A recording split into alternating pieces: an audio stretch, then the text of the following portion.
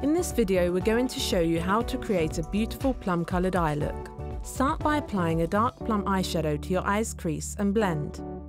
Apply the same shadow along your lower lash line, using an angled brush for extra definition.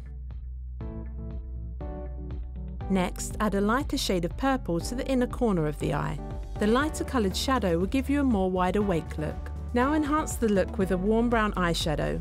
Use a slightly bigger eyeshadow brush to swipe across your brow bone, applying close to the dark plum shade. Next, rim your waterline with kohl pencil.